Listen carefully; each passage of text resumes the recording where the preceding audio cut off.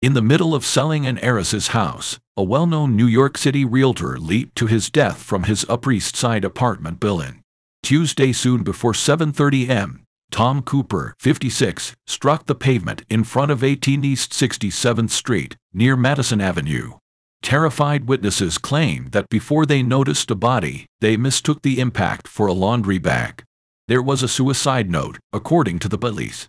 When he passed away, the Douglas Elliman realtor was selling the $3.7 million apartment that billionaire Oracle founder Larry Ellison's daughter, director Megan Ellison, occupied inside the former NYPD headquarters on Centre Street.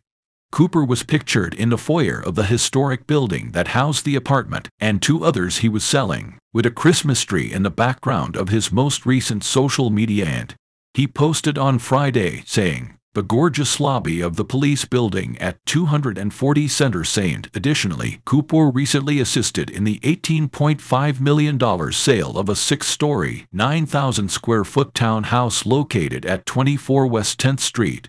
I'm overjoyed that my amazing buyers may now call this elegant Greenwich Village brownstone home. He posted on Instagram, saying, truly a stunning house and part of New York City history. To be with her devastated family and friends, Cooper's sister is traveling to New York City.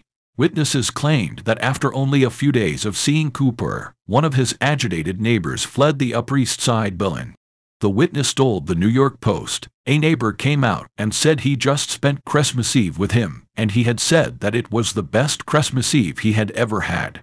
Cooper lived in apartment 4A on the fourth story, and from the street below, a partially open window was visible. It is thought that Cooper leaped from this level. Blood was seen on the pavement in photos taken at the location about this died.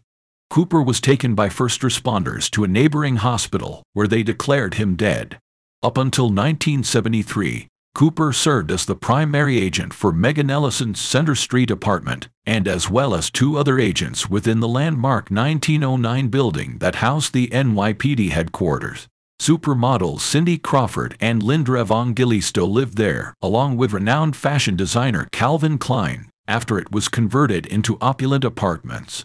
The 1,770 square foot apartment on the top floor includes a large bedroom that is dominated by a towering rotunda style dome. Cooper's listing said that for a total of $7.2 million, it could be bought with the two bedroom, 1,550 square foot, $3.5 million apartment next door. In addition, he was asking slightly under $6.5 million for a third floor flat with three bedroom. Dating back to 1905, Cooper's own opulent building is comprised of eight separate residential flats. One unit was rented for $9,000 per month in 22. Cooper is the most recent New Yorker to leap in recent weeks from upscale Manhattan buildings.